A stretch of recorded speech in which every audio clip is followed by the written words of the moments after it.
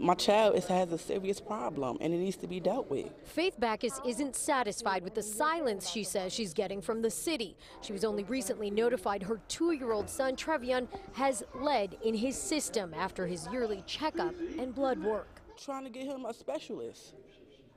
And I got to go and lose work. My husband, kids going to school, starting school, all that stuff. Now I got to go run around with my baby because he got lead in his system. Backus now worries for her four other children, and she's blaming Newark's water.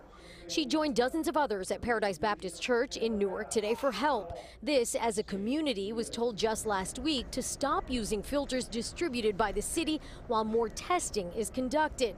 Lead in the tap water at dangerous enough levels that no one should be consuming it, but particular concern surrounding pregnant women, seniors, and children under six. This is about the Newark water crisis and the people of Newark. For just over a week, bottled water has been distributed to some, while others are being told they're not eligible because their neighborhoods are not in areas the city deems as being directly impacted.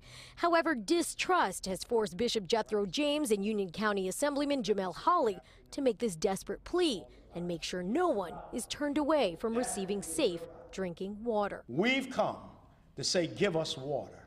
We challenge every organization in the state of New Jersey to give us water. My involvement with Newark today and the situation that you are, are in um, pains me because this could have been prevented. In Union County, Holley has collected 17,000 bottles of water thus far in just one week.